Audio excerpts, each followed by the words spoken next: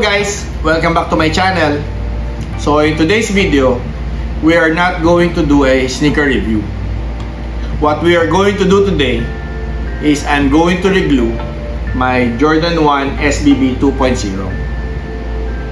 But before that, if you're new to my channel, feel free to subscribe and please hit on the notification bell so you'll be notified on my next sneaker review or my next video.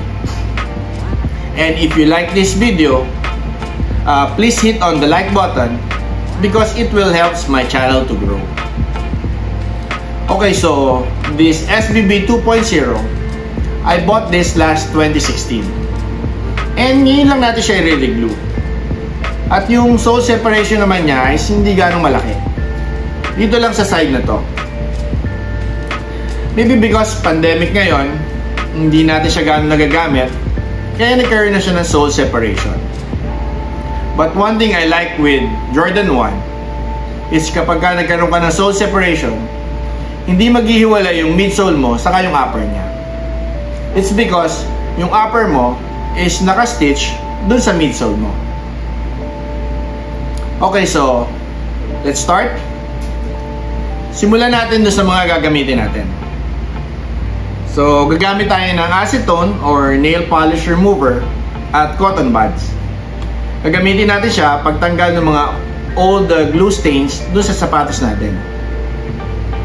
And then, gagamit din tayo ng masking tape. I suggest na yung masking tape na gagamitin nyo is yung hindi nag-iiwan ng stain doon sa pinagdikitan niya.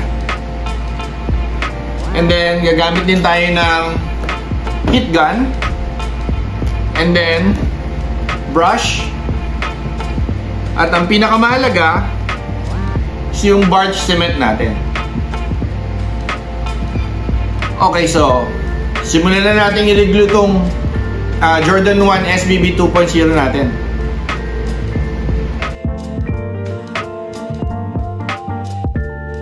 Okay, so first, lagyan muna natin ng masking tape yung sapatos natin.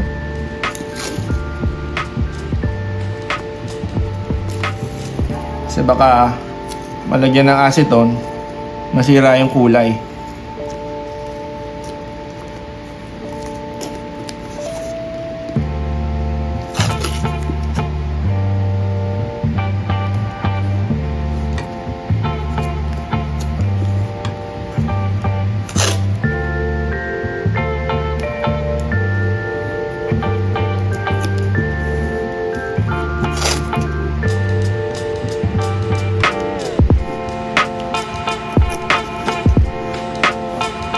Okay.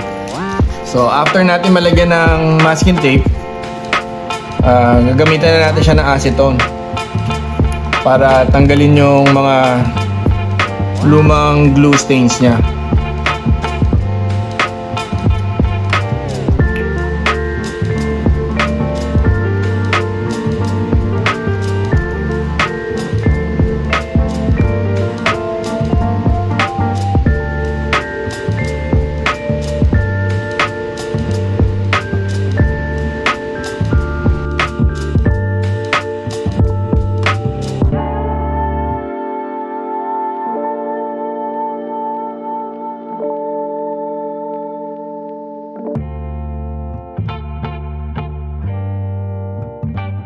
Okay, so tanggalin ko lang to munang ano na to, masking tape na to kasi gusto ko makita kung nalagyan ba ng acetone yung sapatos natin. So, so far okay naman. So, lalagyan ko lang din uli siya kasi uh, pag nilagyan na natin siya ng barge cement, cement uh, ayokong malagyan yung upper natin.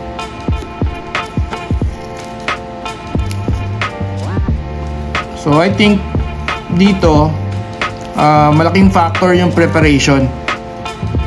So kung gusto nating malinis yung maging gawa natin kailangan maging maingat din tayo.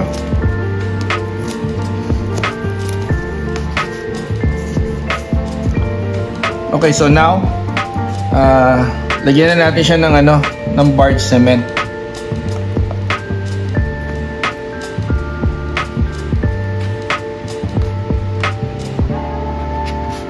so itong barge cement natin, mayroon naman siyang brush dun sa loob. Kaya lang, medyo malaki. Kaya gusto ko gumamit ng ibang brush. Okay.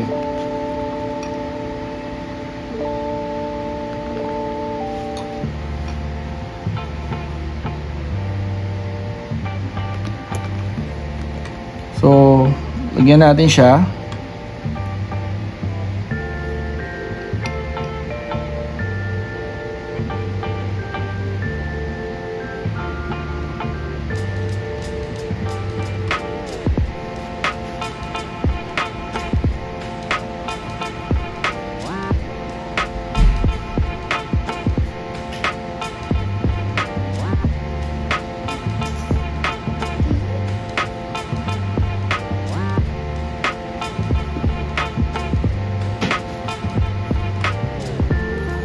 Okay, so ang ginawa natin is hawak-hawak natin siya habang nag-aantay tayo ng 15 to 20 minutes.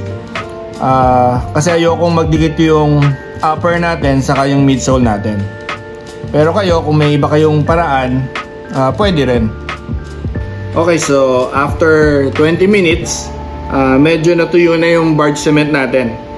So, ang gagawin natin ngayon is gagamitan natin siya ng heat gun para ma-activate ulit siya. Okay.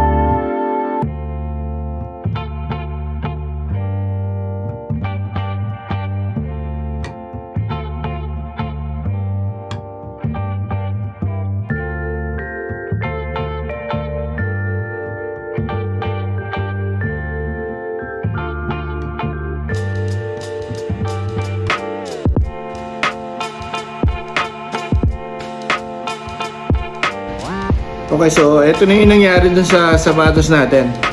So, ganito magiging itsura niya nung nilagyan natin siya nung clamp na ginamit, ko is yung old shoelaces natin.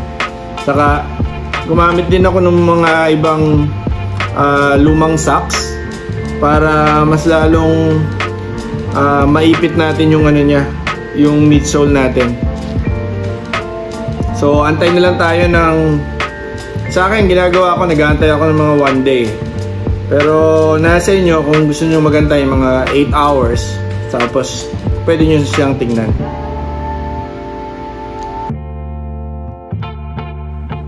Okay, so tanggalin na natin yung ginamit nating pangklam sa kanya. So, pinatagal natin siya ng one day na nakaganyan.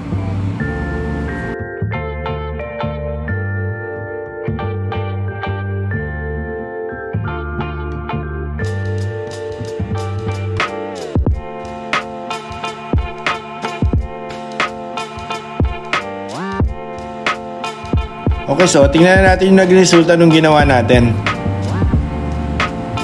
Okay, so dumikit naman siya. Mukhang successful naman yung ginawa natin pagre-reglue. Okay guys, so yun yung result nung pagre-reglue natin itong Jordan 1 SBB 2.0 natin. Uh, I suggest na patagalin nyo pa siya ng mga 24 hours more before nyo siya gamitin. And because we're not yet an expert on regluing, so sometimes mayroong mga part na hindi kagad dumidikit. So ang ginagawa ko lang doon is ina-applyan ko ulit siya ng bar cement and then I'll do the same process. na patatagal natin yung bar cement sa kanya and then i-reheat natin and then ikaklamp natin. So, itong process nga pala na to is not just applicable on Jordan 1. Applicable din siya sa ibang mga sneakers. Okay, so that's it for this video. I hope may natutunan kayo. Uh, ulitin ko lang, uh, I'm not an expert on regluing. I just want to share with you yung process na ginagawa ko every time magkaroon ako ng sole separation sa mga sapatos ko. Uh, nag-work naman siya sa akin, so I hope mag-work din siya sa inyo. Okay, so thank you all for watching. Uh, shout out to uh, Pinoy Sneakers in Taiwan, to all the members and especially sa admins. And sa shoe game ni DJ Force, DJ JP, and ni Paring Pax. And kay Aris Romano. Thank you all guys for your support. Okay, see you next time. Bye!